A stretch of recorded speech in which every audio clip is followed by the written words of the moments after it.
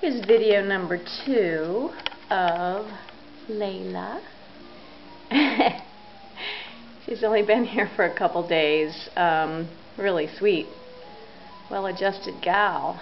Um, she's eating fine, has great litter box habits. Really sweet, sweet gal. Greets me at the door. She hasn't hopped in my lap yet but she uh she greets me at the door. It's kind of kind of mellow for a young kitty, but you know she may find some more energy once she gets adjusted to living here, or you know being indoors or being taken care of and adjusting to her new surroundings. She's just as pretty as she can be.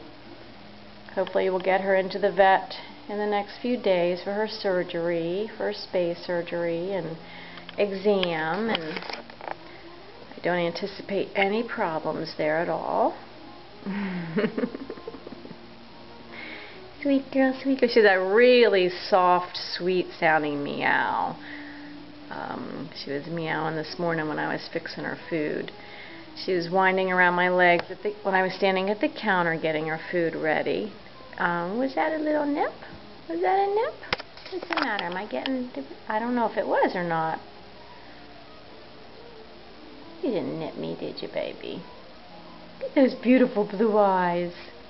Look at those beautiful blue eyes. Yeah. Yeah, it's a good girl. It's a good girl.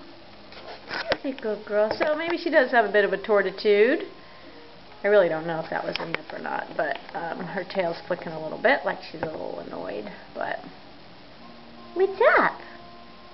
What's up, pretty girl? So there she is, such a pretty girl. Such a pretty girl. Those big ears. Get those big ears, sweet girl. Sweet girl, sweet girl. So Layla, young girl, probably around two, ready to go home in three weeks or so, two or three weeks. Not sure how she is with other cats.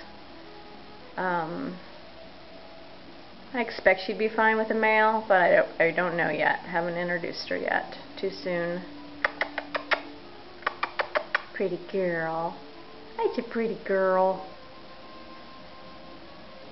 She hears Langdon behind me eating. She's looking at him over there. Oh, you're just tired of being taped. You need to take a little snooze now. Okay, baby.